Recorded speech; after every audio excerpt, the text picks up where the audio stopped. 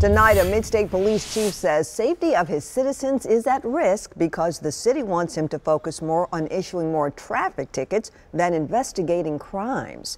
News Channel 5's Matthew Torres explains an investigation is underway involving the mayor. Matthew. Vicki, that's right. The assistant district attorney in Robertson County tells me the office has been looking into these allegations. They are bold accusations the police chief is not afraid of voicing tonight. For a town with a population of only 2,100, the main road in Ridgetop connecting cities invites many drivers. There's 24,000 cars a day at last count. Chief Bryan Morris says with that type of traffic flow comes many citations.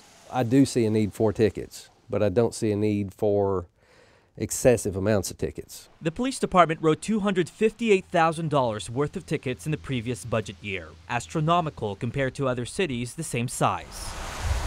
He claims the vice mayor demanded the department write more tickets in exchange for hiring an extra officer. But you'll write 210 tickets a month, or we're going to take that officer away.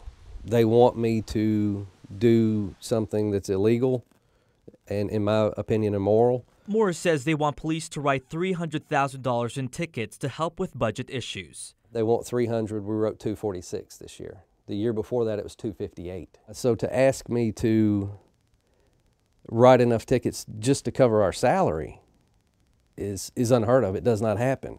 In fact, ticket quotas and the threat are illegal. Morris is even accusing the mayor of wanting him to move away from investigations and focus more on traffic citations. He's worried it takes away from helping citizens. The problem is if you're going to write that many tickets, it's going to take your whole day. I'm not here to make money. I'm here to run a police department. Morris says to make matters worse, the city has cut their overtime and refuses to fill a much needed position.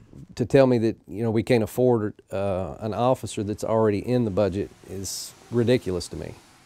Chief did say he felt horrible after telling that his officers should write more tickets, but eventually backed off after reviewing the budget last year. We have tried to get a hold of the mayor and the vice mayor tonight, but have not heard back.